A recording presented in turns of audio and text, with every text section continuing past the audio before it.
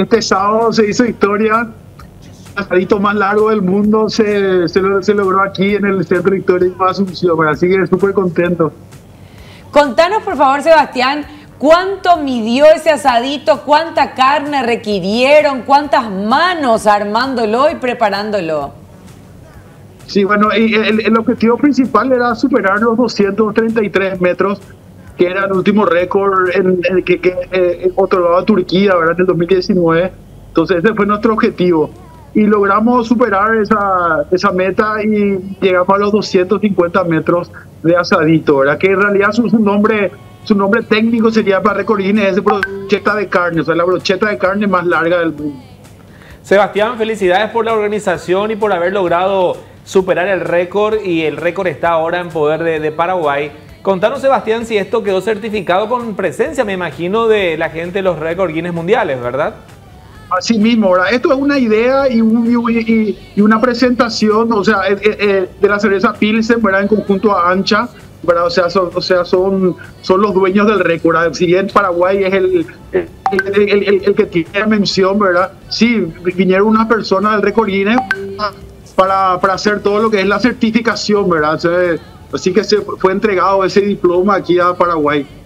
Sebastián, bueno, qué linda noticia la que estamos brindando y estábamos viendo que la gente pudo, bueno, obviamente degustar de este asadito largo. ¿Qué, qué opinaba la gente cuando, bueno, supo de esta premiación?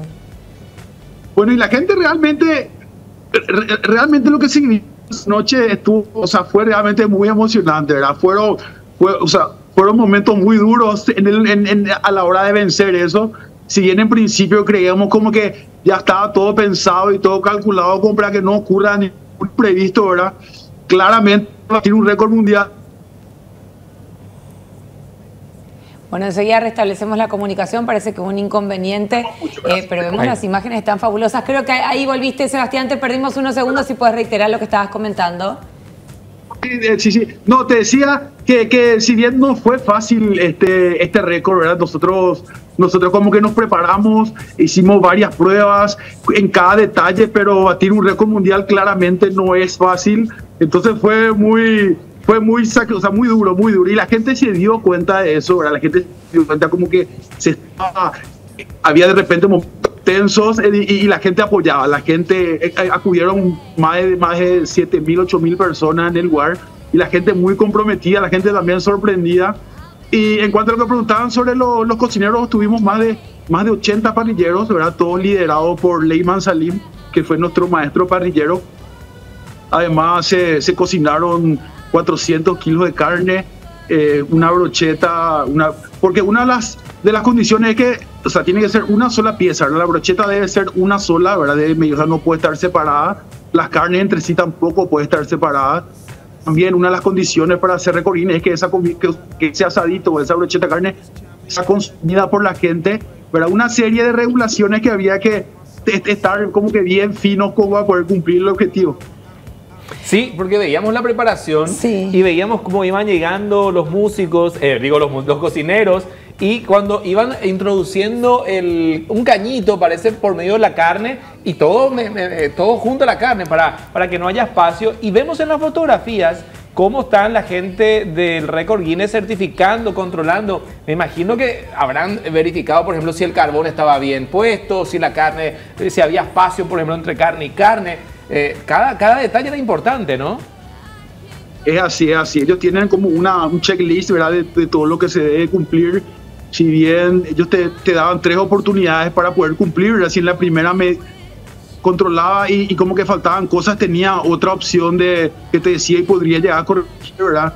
Eh, nosotros, eh, por suerte, en esa primera, en esa primera medición, ¿verdad? Que fue muy emocionante, así como te decía antes, eso fue a las, fue a las 11 de la noche, 11 y, 11 y cuarto de la noche, fue la, esa primera medición y como que se iba ella con otros dos técnicos, ¿verdad? teníamos una certificación de técnico en, medición, un tecnólogo, ¿verdad? Esto o sea, estaba bien chequeado punto por punto, ¿verdad? También la parte de la parte de salubridad, ¿verdad? Bien cuidada, ¿verdad? debía cumplir ciertos o, varios en realidad varios tips como para que que, que, que, que esto sea certificado, ¿verdad? Eh, Sebastián, lo que no me queda claro entonces, era un solo palito, no era el típico escarbadiente largo, uno al lado del otro, un solo palito de 250 metros. Es así, es así, esa es la condición, es un solo palito de 250 metros, si bien hay, hay como que ciertas técnicas para comprar o, técnicas que desarrollamos acá con pruebas y demás para poder llegar a eso, pero es así, eh, eh, eh, es un solo palito, por llamarlo así, de 250 metros. Que, que, fue lo que nosotros logramos. También aparte hubo un festival de música increíble, ¿verdad? Estuvo, estuvo muy realmente fue una fiesta, comenzó a las 4 de la tarde y terminó a las 2 de la mañana con una seguridad impresionante, ¿verdad? Agradecer a la Municipalidad de Asunción, agradecer a, la Policía Nacional porque realmente la seguridad y, y, la tranquilidad en esa zona del centro, por sobre todo la limpieza, es cero vendedores informales, era un centro que es justamente una de las de las patas de este evento, ¿verdad? Pilsen eh, se acerca a nosotros o nos invita a ser partícipe de esto con ese objetivo, ¿verdad? De revitalizar el centro histórico, ¿verdad? Estos eventos le hacen al centro, le da visibilidad y le da, le da o sea, le da otro aire, ¿verdad? Para que la gente se anime y vuelva al centro, ¿verdad? Que es una de las principales eh, emisiones de lancha. Que se nota, Sebastián, que cada vez lo están cumpliendo porque sí nos consta que, bueno, a través de las redes sociales y las personas que van y nos cuentan que cada vez se reúne más gente. Sebastián, aproximadamente cuántas personas estuvieron participando en este evento, especialmente, digamos, lo del asadito más largo? ¿Cuánto ¿Cuántas personas integraban el equipo entre en total? Entre 7.000 y 8.000 personas hubieron ahí, entre 7.000 y 8.000 durante toda la...